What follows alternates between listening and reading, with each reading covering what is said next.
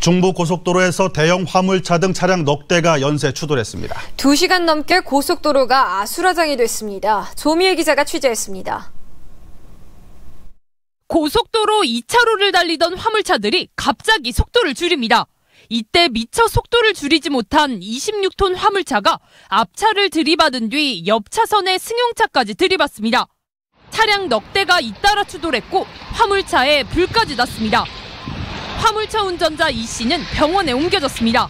의식은 명료했고 가슴 부위 통증 호소하고 있고 오른쪽 무릎 부위도 열상 있고 대형 화물차가 넘어지고 사고 차량들이 뒤엉키며 출근 시간 2시간 넘게 극심한 정체가 빚어졌습니다.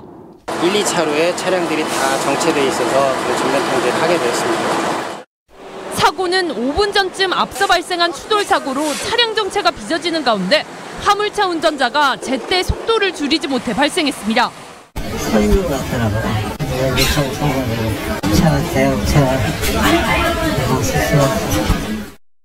경찰은 CCTV와 차량 블랙박스 등을 토대로 정확한 사고 경위를 조사하고 있습니다.